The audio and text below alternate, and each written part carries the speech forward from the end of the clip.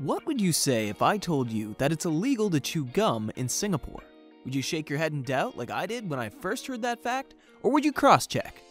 Well, I'm here to tell you that it's true. On today's video, we'll be looking at 10 amazing facts that are downright unbelievable.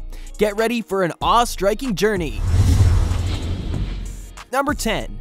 You cannot chew gum in Singapore. Well, you can if you wanted to. However, you would go from regular guy chewing gum to wanted guy chewing gum pretty quickly. So, why did this happen? What's so bad about chewing gum that makes it contraband in Singapore?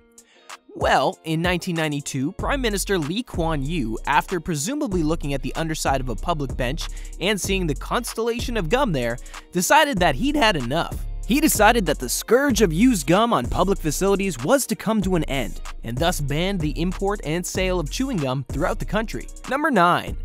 Making a jelly bean takes up 10 days. You've probably not thought of how long it takes to make a single jelly bean, and even if you have, you probably think it takes only a minute or two. After all, factories churn out thousands of these beans every day. How long could it possibly take them to make one? Well, the answer is very long. Very long indeed. First, the sugar syrup used to make the jelly is cooked, mixed, and left to set. After that, it's put in tiny cornstarch molds and then left to cool until it's time for an outer layer to be added. After that, the jelly center is put into large rotating drums, and this is where all the sugar, color, and flavoring are added to slowly form a protective outer shell. This process can take up to 10 days. Would you believe that? Number 8. Diamonds are only valuable because of De Beers. Have you ever thought of buying some jewelry for a significant other or a loved one? If you have, then during your ruminations, you probably considered buying diamonds. And you most likely abandoned that idea when you looked up the average price of a diamond necklace. Basically, you'd probably think diamonds are really valuable. However, you must know that this value is as a result of artificial scarcity and a PR machine that never rests. Of course, diamonds used to be very rare in the Western world. However, in the 1800s, a diamond mining rush in South Africa made diamonds more common than expected. This diamond rush threatened to make diamonds less scarce than they were, and this would obviously drive their value down. A company called De Beers saw an opportunity in this impending disaster and decided to buy up all the mines and create an artificial scarcity. To maintain this scarcity, De Beers is continuously buying diamond mines and buying out other diamond sellers.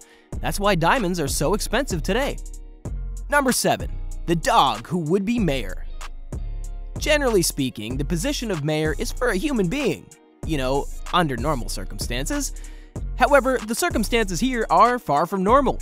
This small Minnesota town had, from 2014 to 2018, a mayor who was a dog. Look at that one! That one looks like a dog! Oh! It is a dog! What? Oh. This mayor was actually a dog complete with a wagging tail, four paws, and fur.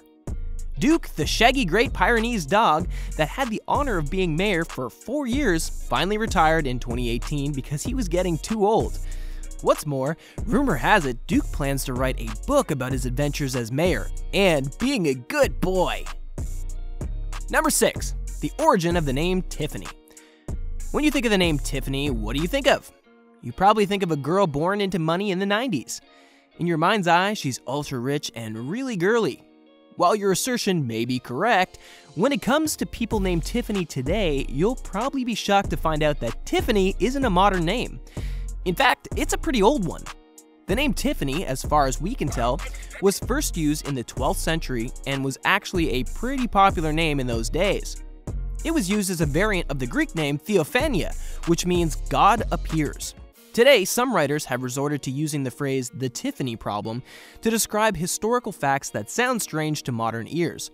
For example, how seriously would you make a movie based in the 14th century that had a Lady Tiffany as the main character? Not very seriously, right? Number 5. Man reached the moon before inventing wheeled luggage. When it comes to human achievements, there's nothing more symbolic than the moon landing.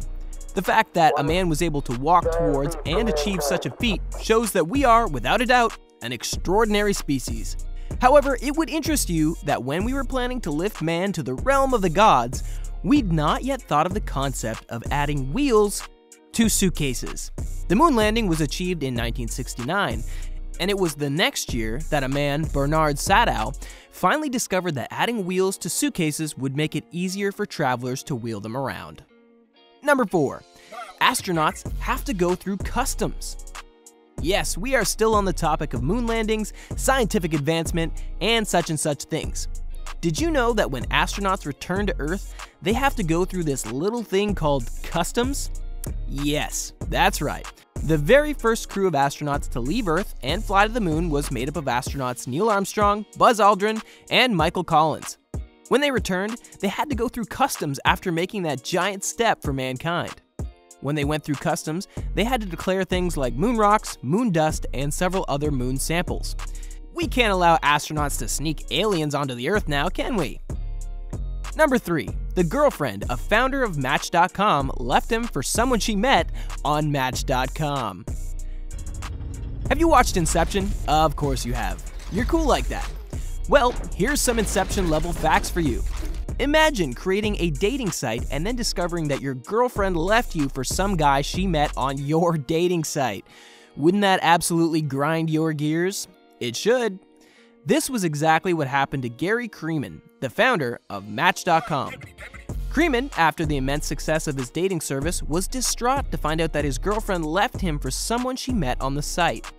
However, he says that things are looking up. There's even a positive to be taken from the whole situation, he says. The fact that his girlfriend was able to find someone worth breaking up for was a testament that the site worked perfectly. Talk about seeing the silver lining in a cloud of sorrow, eh? Number 2. There are more people in California than there are in Canada. Have you ever been to California? If you have, you'd probably notice that the state is almost like its own country, with a population of 38 million people. California is one of the most populous states in the world. Have you ever been to Canada? No, that's the wrong question. Have you ever seen Canada on the map? Of course you have.